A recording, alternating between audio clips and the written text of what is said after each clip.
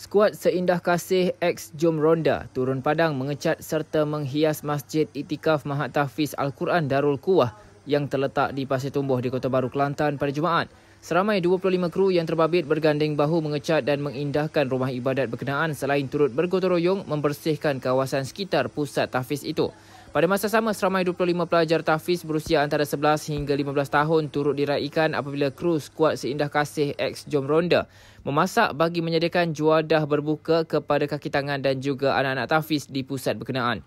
Skuad Seindah Kasih X Jom Ronda turut mengagihkan pakej set iftar iaitu sumbangan minuman isotonik, beberapa peralatan sukan dan 10 unit kotak rezeki mengandungi makanan kering untuk kegunaan sepanjang bulan puasa ini selain sumbangan tilam, selimut dan bantal.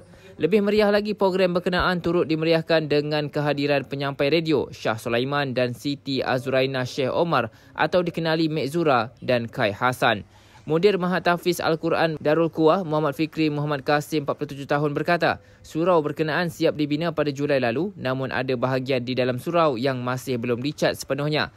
Katanya pada masa sama dia juga mengucapkan terima kasih kepada Media Prima atas kunjungan itu dalam membantu menceriakan surau yang digunakan untuk anak-anak tahfiz belajar selain menunaikan solat.